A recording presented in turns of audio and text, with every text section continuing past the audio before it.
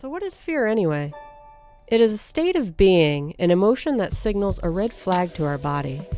It tries to protect us from harm, whether that be physical or emotional.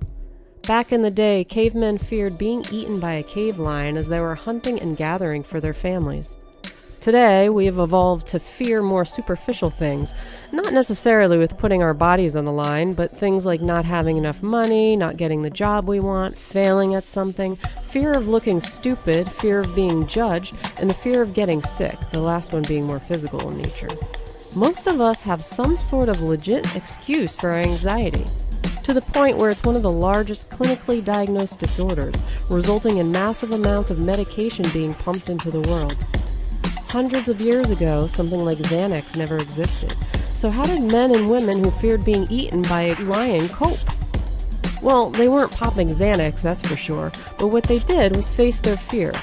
They took action even though they were afraid because it was a matter of life and death. Survival. If they didn't learn to accept the fear penetrating every ounce of their being, they might not have survived. They didn't give up trying to provide for their families because the alternative was always death, either via starvation or getting eaten. I'm pretty sure most of us don't have to worry about a hyena, a wild goat, or a hamster eating us. Instead, to us, losing money or a significant other can feel equivalent to losing a limb. It can be devastating. So we feel the fear and stay in the same routine, doing the same things we've always done, staying in the same career, dating the same types of people, and never going beyond our own limitations because, in our heads, the fear of failure is greater than risking it. We play it safe. Our fears eventually subside and nothing changes, except for the fact that the stress and anxiety from the unchanged situation keeps festering within us.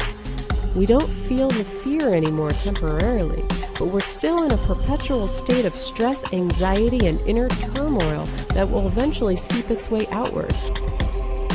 This can create change, yes, like being fired because we cursed out our boss, divorce because we cheated on our spouse, or even jail in extreme cases because we were so fueled up that we commit something unlawful, find a new interest in heroin, or act aggressively out of character. Some of us live in a constant state of fight or flight mode, which is unnatural for our bodies.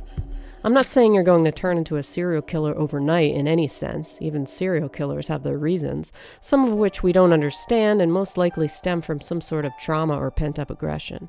Fight or flight is there for protection, to help us when we're in danger, like being chased by a wild animal or a person with a knife trying to attack us. But it's a mechanism that's made for short bursts, not a constant in our lives. Once it remains constant, everything is thrown off, from our hormones to our heart rhythm to our breathing. It then can eventually affect us physically and lead us down a path of eventual disease. Is it possible that it's our intuition or a gut feeling telling us not to do something?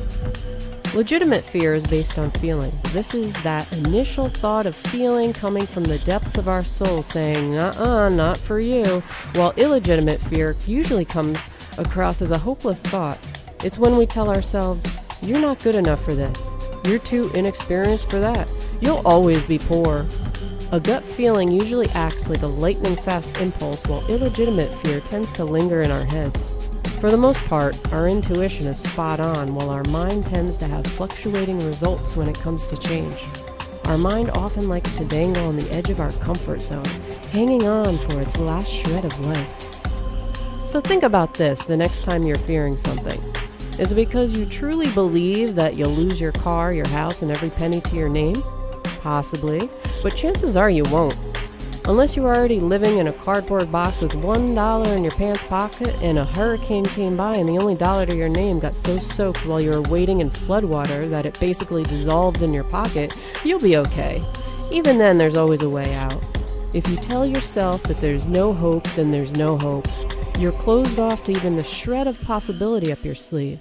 On the other hand, if you give yourself the benefit of the doubt and know in your heart that the world will provide, maybe not in such a superficial sense where tens of thousands of dollars will miraculously float down from the heavens right onto your lap, but in other ways, it will. You might observe a gentle soul giving you the coat off his back, or a bakery owner donating his unsold biscuits to a shelter nearby. If you think and assume the world is full of bad people and bad things, then this will become your reality. If, on the other hand, you see light in the darkness, you'll start observing more positive things in your life. So, in essence, if the head says yes, you've got a 50 50 shot at it being right, but if the heart says yes, it's probably right.